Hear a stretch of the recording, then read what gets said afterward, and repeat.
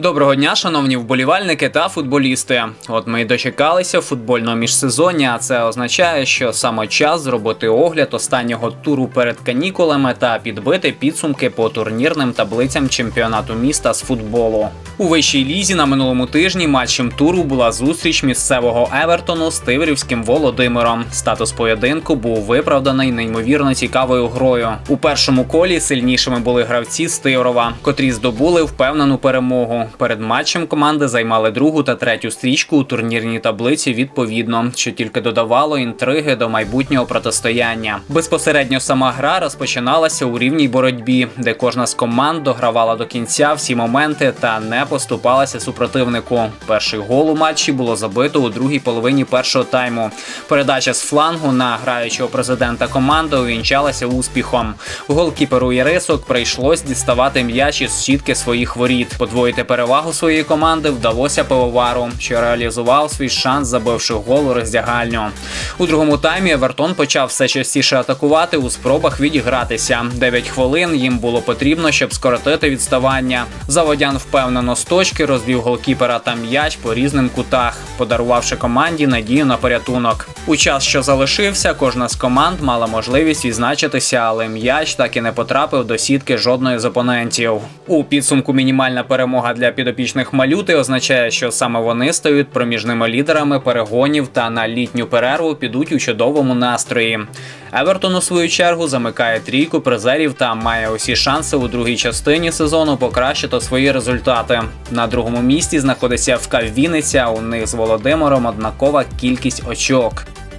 У першій лізі найцікавішим матчем з певненістю можна назвати зустріч команди Сутисок та Вінницькою збірною африканського континенту Евергрін.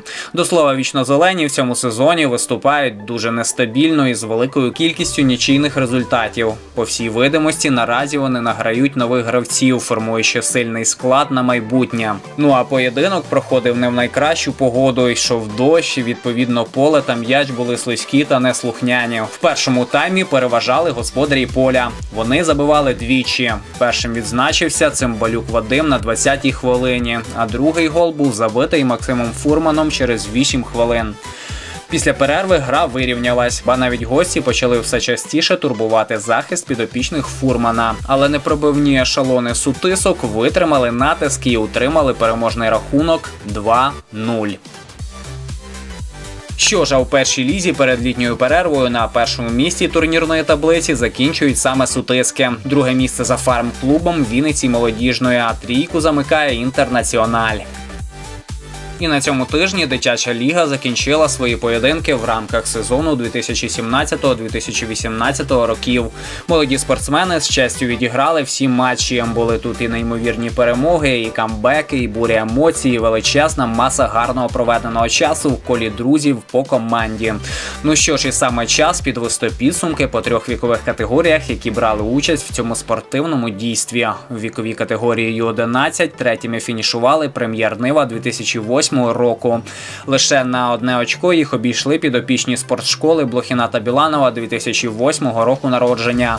Ну і золоті нагороди отримають футболісти Блохіна Біланова 2007 року народження. В категорії U-12 третє та друге місця зайняли команди з однаковою кількістю очок. Школа номер 35 відповідно третю позицію, і Блохіна Біланова 06 на другій позиції. Лідерами в цій категорії стали Блохіна Біланова 2007 року народження. А серед найстарших в лізі Ю-14 трійку лідерів відкриває Блохіна Біланова 06. На другому місці їх друзі по спортивній школі Блохіна Біланова 05. І безкомпромісним чемпіоном тут стала прем'єр Нива 2004 року народження. А тепер переходимо до міні-футболу. На минулих вихідних на полях 10 та 31 школи були розіграні рейтингові поєдинки та перші матчі пулі футбольної битви районів. Суботу ігровий день розпочався з гри Style Video з Хіміком в рамках Кубку Ліг. Сам матч був дуже цікавий та напружений. Непоступливість та бажання перемогти перетворили поєдинок на симбіоз вибухового футболу з залізобетонним захистом та видряпуванням м'яча в кожному з моментів.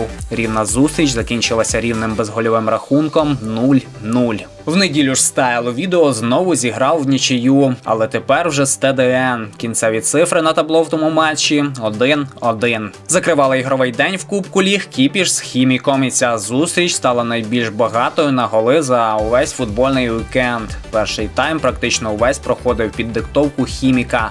Вони ловили свого суперника на обрізках і раз по раз штурмували їх штрафний майданчик. В підопічних Крещенка також були моменти, але вони більшість з них до удару довести не змогли. Перший тайм закінчився з рахунком 5-1 на користь хіміка. В другому таймі ситуація кардинально змінилася. Було таке враження, що після перерви на майданчик вийшов зовсім інший кіпіш. Його гравці боролися до кінця в кожній ситуації та старалися грати першим номером. Хімік же грав по рахунку на 38-й хвилині. Цифри на табло стали 4-5 на користь блакитних, і за останні дві хвилини Рахунок не змінився. Таким чином, хімік здобуває своїх перших три очки і являється лідером таблиці на даний момент. Друге місце наразі у ТДН, а третє The Style Video. Четвертими поки що йдуть Кіпіш. В суботу ж одразу після матчу Style Video Хімік свої перші кроки зробив Кубок Чемпіонів. Перший матч пулі відбувся між епіцентром та Спартою. Чесно кажучи, матч був не надто напруженим та виглядав досить однобоко. І це не дивно, адже Спарта прийшла на гру дуже хорошим складом з прекрасним підбором гравців та просто зробила свою гру на стабільно хорошому рівні. Епіцентр також мав декілька моментів, але забити у грі їм так і не вдалося. В підсумку спартанці перемагають з непристойним рахунком. 6-0. А в неділю відбувся матч між Спартою та Поділлям з Кернасівки. В першому таймі гравці в білих футболках більше працювали на безперервний високий пресинг та командну роботу. Поділля ж старалося діяти на отримання шкіряної кулі та пошуку можливості акселерувати атаку. Тактика Спарти виявилась більш дієвою. Вже до восьмої хвилини матчу вони забили три голи і продовжували натиск. В другому таймі ініціативу перехопили гравці Кернасівки. В них було безліч хороших атакувальних спуртів, які на їх превеликий жаль жодного разу не закінчилися забитим голом. Кінцеві цифри на табло так і залишилися на позначках 0-3. Ну, матч дуже сподобався. Гра була дуже насиченою. Команда Поділля Кирничника показала справжню боротьбу. Перший тайм, звісно, ми забили свої моменти, тоді гра вже пішла якби так, як ми хотіли, по нашому сценарію. Але було, було приємно грати. І наразі перше місце в таблиці Кубку Чемпіонів займає саме Спарта. За ними крокує Поділля. Третє місце у епіцентру і Олімп ще не зіграв жодної гри. Нагадаємо, що їх поєдинок з епіцентром перенесли через погодні умови.